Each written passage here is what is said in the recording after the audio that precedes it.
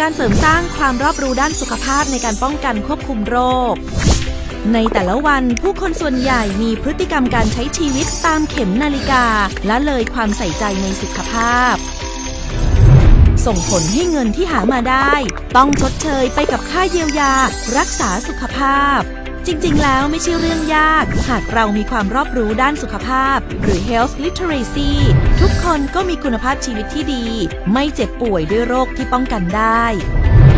เพียงให้ความสำคัญในการพัฒนาทักษะที่จำเป็น เช่นการใช้ชีวิตประจำวัน การเข้าถึง สามารถค้นหากลั่นกรอง และตรวจสอบความน่าเชื่อถือและถูกต้องของข้อมูล และแหล่งข้อมูล เช่น ข้อมูลข่าวสารที่มาจากกรมควบคุมโรค กระทรวงสาธารณสุข หรือหน่วยงานด้านสาธารณสุข ไม่ใช่จากเฟกนิวส์ช่องทางต่างๆ ที่ส่งต่อกันมา เข้าใจ